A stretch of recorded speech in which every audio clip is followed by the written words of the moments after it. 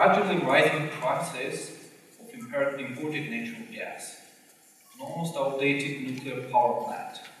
Ladies and gentlemen, Armenia is in a danger of facing energy and economic crisis.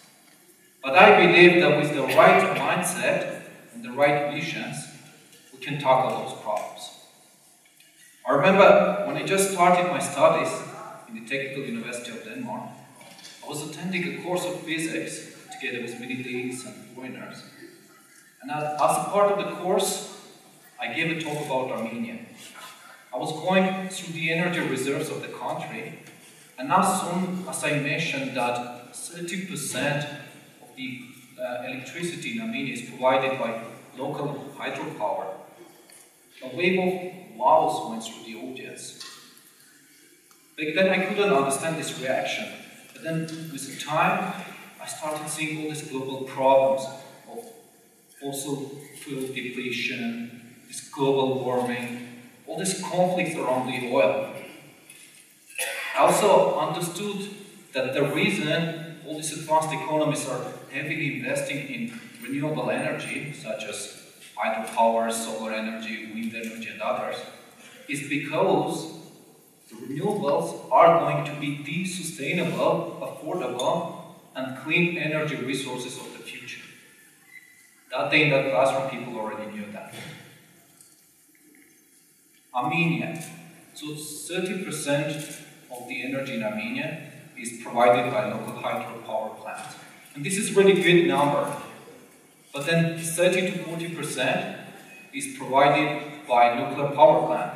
And it will, it will exhaust its lifetime in a few years. And actually the government is thinking to invest a lot to build a new one. Another 30 to 40% is provided by thermal power plants that are running on imported natural gas. And if you look at the, by the way, I'm, I'm, a scientist, so my duty is to show you some diagrams and perhaps some various me now. And if this works, I will show you the curve. So if you look at the prices of the gas today, it's almost three times more than in 2005. And I'm pretty sure this will not stay here, it will go up. Ah. However, Armenia has many other important problems such as poverty, unemployment, immigration, economic crisis. So the energy problem kind of fades into the background of all the other problems. But what I believe that by addressing the energy issue through renewables will not only solve the energy problem in the country, but will significantly contribute in solving the other problems as well. Let's do an activity together right now. Imagine for a second that 100% of the country's electricity is provided by local renewables. Independence from the imported natural gas, you don't have to worry about this increasing prices. Instead of instead of importing the fossils from outside, the country produces its own energy. That's a lot of new jobs created for the locals. Imagine the huge relief on the economy The country does not have to pay for the gas and all this extra money can now spend, be spent on solving the other problems. So this is a really good image, right? But this is not it. No nuclear power plants built in the seismic region. No deforestation, clean, healthy environment. Tourism growth. Who wouldn't want to come to visit a country with such a healthy environment? So Armenia actually gradually would become a country not with a high rate of immigration, but a country where people want to come and stay. If you ask an expert, so if the renewables are so great, why it has not been implemented so far in, in the country, they'll probably tell you that, well, the renewables are still too expensive and underdeveloped. And they're right. But let me ask you a question. Do you know what was the price of the first IBM computer aimed for office work, $55,000. And I don't think any of you today would like actually one like this one in your office, right? Today, almost every house has a PC, a computer, costing only 1% of that price. And now is the time for renewables. And I assure you that there are plenty of stakeholders all over the world that are ready to invest in research and development of renewables. And this is a great opportunity for Armenia and many other countries like Armenia if they start acting today. You know, many people might think that Armenia does not have the capacity right now for it. But let me tell you a story. Recently, I joined an NGO called Amstream that works towards developing collaborations between Scandinavia and Armenia. And this was a great opportunity for me because I learned a lot of important and interesting things about the two regions. And one particular thing that struck me was that when one evening I was going through some statistics about Armenia, I came across this Global Innovation Index. This is an index that recognizes innovation as a driver for economic growth. And it essentially includes many parameters about the country, like infrastructure, public institutions, number of knowledge workers, freedom of speech, even statistics about how many people use YouTube in the country. And today many business leaders all over the world use that statistics, that index, to assess the environment of the country for possible business collaborations. So I looked up Armenia in the list and I started comparing it with neighboring countries. And I discovered that Armenia is not only ahead of Georgia and Azerbaijan, but also Iran, Russia, and Turkey. And I was quite surprised that a country with half isolated borders and uh, limited access to the external market is ahead of those countries. And the, and the factors that put Armenia in front um, among many others, education, scientific publications, even, the, even the efficiency index, that innovation efficiency index that, that represents the fact that Armenians are really good at producing more with less. This is the reason that I believe that Armenia has that knowledge capacity today. We just need to start acting. And what I believe Armenia is lacking right now is vision and the belief. A vision of 100% renewable country and the belief that Armenia can reach it. Vision is an interesting word, by the way. And I, I checked it out in the dictionary, and one of the explanations was intelligent foresight. A competence of being able to see how something could or should be combined with the ability to make it so. I consider myself lucky guy because throughout my career, I actually experienced the power of the vision. Let me tell you my story. Seven years ago, I joined a research group that deals with solar energy. And by the way, uh, it's just interesting for me. How many of you have seen or heard about solar cells before? Please raise the hands almost everyone in Europe. Now keep your hands up if you have seen or heard about organic solar cells and know what it is. Okay, very few.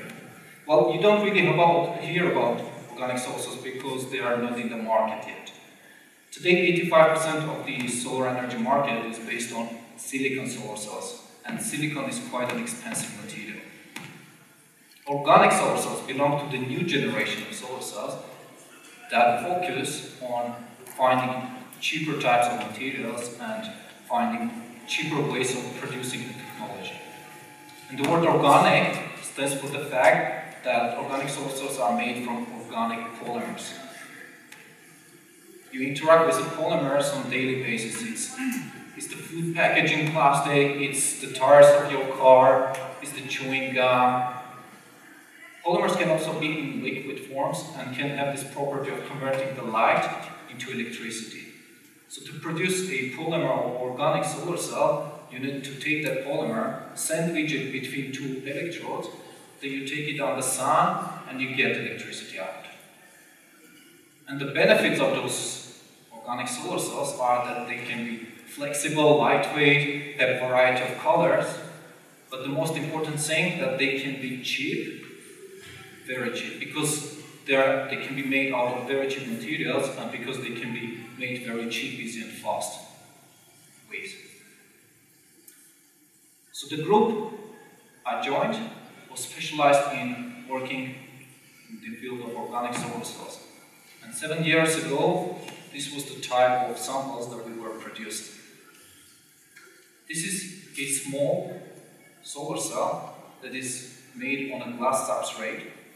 And I spent almost two days in the chemistry lab doing all sorts of coating techniques, operations in the vacuum chambers, and eventually I got this sample. I took it out on the sun, I tested it, it worked. I waited 30 minutes, I tested it, it didn't work anymore, it degraded. I was so frustrated. And, and I was kind of, you know, it wasn't clear for me where we're going with this. Because, you know, it was so far from all these advantages that we're talking about, about this technology. What I could not see back then was that there was a vision to create a product with a future, and our team believed in that vision. With time, I started seeing the results of that vision. We started using plastics instead of glass to make it flexible. The sample sizes started growing. We started encapsulating them to make them more stable. And then we started making gadgets to test the technology and the applications. And today we're producing, sorry, went the wrong way. Yep. So we're producing all sorts of applications. I actually brought some with me here. Let me show you. We have this solar hat that has a solar cell on top and has a radio integrated inside. This was tested at a festival in Denmark. Uh, we actually produced also laser pointers with integrated solar cell, and I think it works pretty well. We also had a solar lamp. You also see it in the picture there. Um, this was sent to Ghana for a field test as part of the project of the World Bank Lighting Africa. We connected, it actually works well. And, um, and many other applications.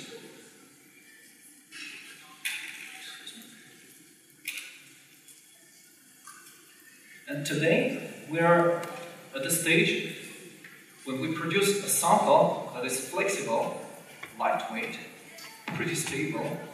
But what is more, the most important is that it is very fast to produce. Such a sample is produced in three seconds. And I will tell you how. I think you all know how the newspapers are being printed using all this roll-through machinery. The same concept is here. If you look at the screen, this is how solar cells are being produced in our laboratory today. This is a roll-to-roll machinery and a long stripe of plastics goes through the machine and different layers of polymers and electrodes are being printed on top of each other. And essentially, at the end, you get many samples in a very short time. And by reducing the time and the energy spent on the production, you drastically reduce the price of the technology.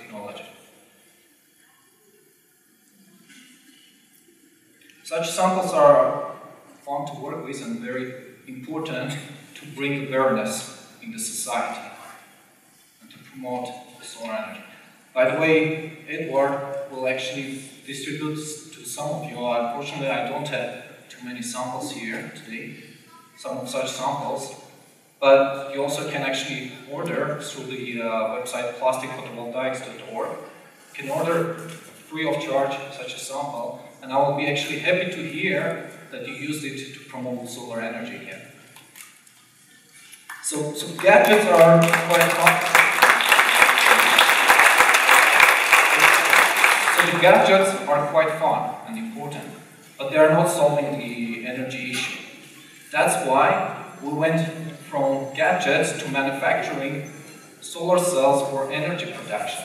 And if you look at the screen again, this is the first organic solar cell power plant of its kind, built next to our laboratory We call it solar park. And you see in the video how the last stripe of polymer solar cells, organic solar cells, is being printed down or taped down on the platform. And soon this will be connected to the grid to test for energy production. Are we trying to use just cheap materials and cheap, cheap ways of installations to keep the cost down? So, within seven years, we went from this to what you saw now. And this is because a man had a vision. That man was his our group leader, Frederik Krebs, who not only believed in that vision, but he also encouraged our entire team to believe in it. And I will let you be the judge if it was worth it. Of course, organics also still have too many problems to solve, but if you ask me today, I know the future of this technology. And there are many other solar cell technologies emerging almost every day, and I'm pretty sure that the full utilization of solar energy is just around the corner. And the reason that I believe solar energy has to be one of the first choices for solving the energy issue is because if you look at the screen, this is the potential of all the energy reserves on Earth, expressed in the forms of planets with different colors. And on the right side, the column represents the total capacity of the fossils on Earth, while the rest are the renewable energy reserves per year in terawatts. And if you compare the solar energy, the big one, it's actually more than all the other energy reserves combined. The very left one, the white one there, is the current electricity used by the entire world. So if you even harvest a very small fraction of solar energy, it can actually cover the entire need of the world. Let's back, get back to Armenia. Armenia is quite lucky with sun. Armenia has six times less cloudy days than Denmark. And twice as much energy from sun than compared to Europe's average, almost twice. So if Nordic countries in Europe can cover a significant part of their electricity needs today, then harvesting of solar energy in Armenia or other countries like Armenia in the south is a must. What I'm trying to, to communicate today to you is that there's this great potential of renewable energy in the country. And there's this knowledge potential, knowledge capacity in the country. That's why we need to start acting today. And that's why I suggest that with the vision of 100% renewables, we start a movement in Armenia today. Let's spread the word about renewables and solar energy. Let's start educating the kids in the school, the students in the universities the renewables. Start collaborating with the rainy countries, offering some testing stages here to test their technologies in here on the sun. Let's use that knowledge capacity in the country and build a technology that can conquer the world's markets.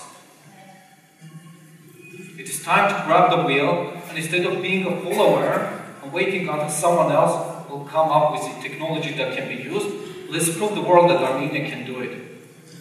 That Armenia can be a leader and Armenia can become 100% renewable. And you will start noticing that the closer you get to the vision, the better life becomes in Armenia. Thank you very much.